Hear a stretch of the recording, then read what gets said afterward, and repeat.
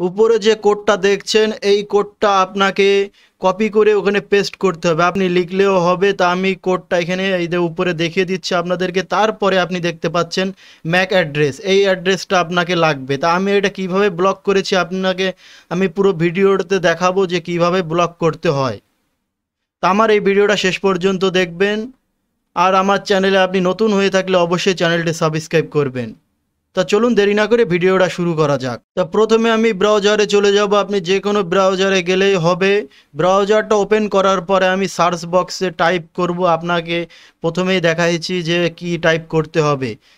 One nine two point আপনি এখানে type করতে পারেন। One nine two point one six eight তারপরে আপনার ডট জিরো ডট অন তারপর আপনি ইন্টার চেপে দেবেন। দেওয়ার পরে এরম একটা ইন্টারফেস আসবে, তাই এখানে আপনার টিপি লিঙ্কের যে পাসওয়ার্ড দিয়ে আপনি অ্যাকাউন্ট খুলেছেন, সেটা এখানে লগ করে দিতে হবে। লগ করার পরে এখানে এমন ইন্টারফেস আসবে।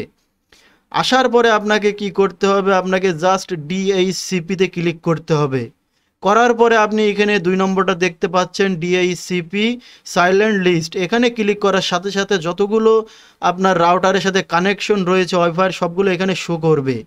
তাই এখান থেকে আমি একটা ব্লক করে দেবো যাতে তারা অন্য কেউ আপনার মোবাইল থেকে কিউআর কোড ব্যবহার করতে না পারে।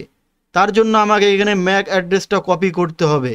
তাই এখানে আপনি কন্ট্রোল প্লাস সি চেপে ধরে কপি করে নেবেন অ্যাকশনসে কপি করার পরে কপি করার পরে এখানে চলে যাব আমি ওয়ারলেস যে অপশনটা দেখছেন ওখানে চলে যাব। যাওয়ার পরে এখানে আপনি দেখতে পাচ্ছেন ওয়ারলেস ম্যাক ফিল্টার তাই এখানে ক্লিক করব। করার পরে আপনি ইন্টারফেস দেখছেন অন্যরকম, তা এখানে আপনি ডিসেবল ইনেবল অপশনটা দেখতে পাচ্ছেন। তা এখন ডিসেবল করা রয়েছে ইনেবল করে দেবো। তা আমি ইনেবলে ক্লিক করে দিচ্ছি, দেখছেন রিফ্রেশ হচ্ছে। তো ইনেবল হয়ে যাবে কিছুক্ষণের মধ্যেই। এখানে দেখেন ইনেবল হয়ে গিয়েছে। তারপরে আমি চলে যাব অ্যাড নিউতে তো অ্যাড নিউতে ক্লিক করার পরে আমি যে ম্যাক অ্যাড্রেসটা ওখানে কপি করেছি, তা আপনি এখানে কন্ট্রোল প্লাস ভি চেপে দিয়ে আপনি এখানে পেস্ট করে দেবেন। তারপর ডিসক্রিপশনে আপনি লিখবেন যে ফোন যেহেতু এটা ফোন দিয়ে ব্যবহার হচ্ছে, ফোন লেখার পরে, ফোন লেখার পরে আপনি সেভ অপশনে ক্লিক করে দেবেন।